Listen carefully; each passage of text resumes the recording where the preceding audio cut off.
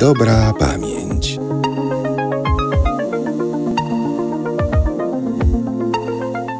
Też mieliśmy taki krótki wątek jeszcze przed rozmową, więc może na koniec e, sobie to omówimy. Dostaję takie pytanie, jak czyścić pałac pamięci? Jak go usunąć ze skojarzeń? Powiedzmy, że chcę ten sam pałac wykorzystać już na inny materiał. Co zrobić z tymi skojarzeniami, które tam już są, jeżeli mi się cały czas mylą?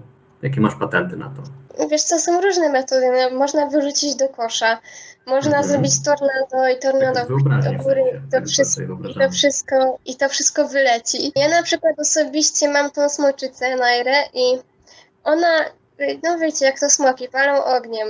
No Mhm. i na przykład jak już zadzwonię do tego dentysty, ym, wrócę do wcześniejszego przykładu, y, co jest chodzący, ma zadzwonić do dentysty, no to mam skojarzenia. Chodzący ząb, skaczący ząb z telefonem przy uchu, przy uchu żeby mówić termin, e, to tutaj po prostu nadlatuje smoczyca, albo ją wzywam, albo na niej nadlatuje Mhm. i po prostu e, palę te skojarzenie, dosłownie ogniem, takie drakarys. Jeśli są to fani z Grotron, to pozdrawiam. E, Czyli, czyli tak i- e, szybko wtrącając takie pytanie moje, rozumiem, że jak masz taką rzecz użyteczną tylko na poczet powiedzmy tego dnia dzisiejszego, to jutro już sobie możesz to skojarzenie spalić, tak? Na tej ścieżce. Tak, tak. Nawet jak to Okej. zrobię, to też to mogę spalić. Czyli I tak palenie to wrzucanie do kosza. Pamiętajcie o segregacji, nie? Ekologia i tak dalej. E, Ja, ja też słyszałem o patencie, że wchodzi się, wchodzi ekipa Ghostbusters z odkurzaczami i czyści skojarzeń, też mi się to podobało.